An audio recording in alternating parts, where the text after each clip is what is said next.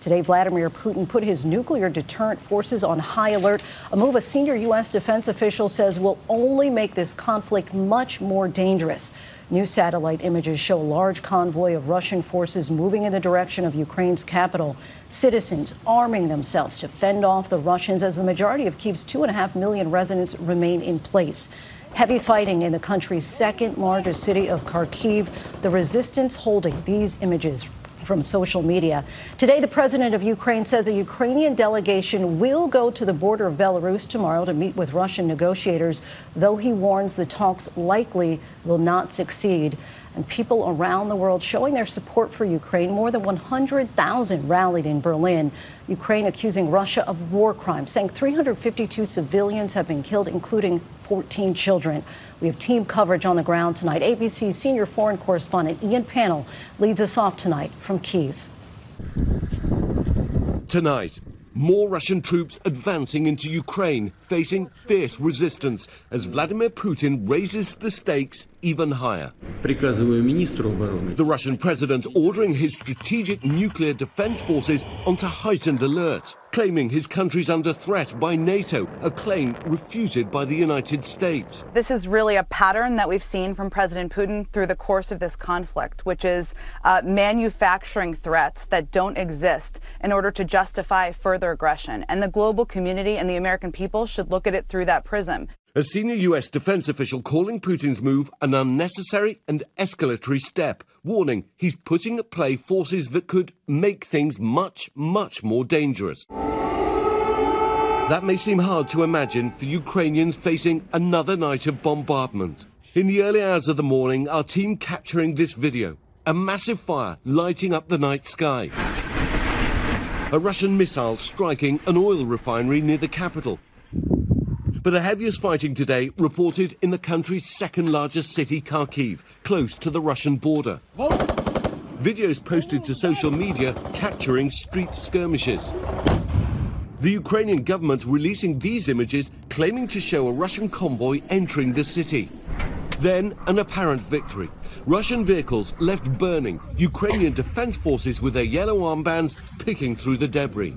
A Pentagon official saying the Ukrainian resistance has been quite creative in finding ways to attack columns, but also warning Russia has a very significant amount of combat power still available in and out of the country. New satellite images showing a massive column of ground forces heading in the direction of Kiev. Stretching more than three miles long, it contains hundreds of military vehicles. This city, this country, is on a total war footing. We filmed civilians and soldiers queuing for weapons. Tens of thousands have signed up. What we're seeing today are civilians taking up arms to try and defend their city of Kiev. Let's just follow them a second. We're seeing people with anti tank weapons, Kalashnikovs, are getting them from the police station. And these are men, some of them in their 50s, some just out of their teens, ready to stand and fight and defend. Vladimir's a 50 year old retired policeman. He says, I could relax, go for a walk in the park with my grandson, but Putin's decided I shouldn't do that, that my family shouldn't live, so it means we'll show him what Ukraine means. The US bolstering Ukraine with hundreds of millions of dollars of military aid and weapons. And for the first time, the European Union financing the purchase and delivery of weapons to a country that's under attack. Many of Ukraine's citizens sheltering underground. New video showing patients from a children's hospital in a makeshift bomb shelter. This mother comforting her young child, saying, We live here now. This is our house. Other families are being caught in the attacks. The number of civilian casualties rising. This building reduced to rubble in the firefighting. The Ukrainian emergency services searching for survivors, finding four dead bodies.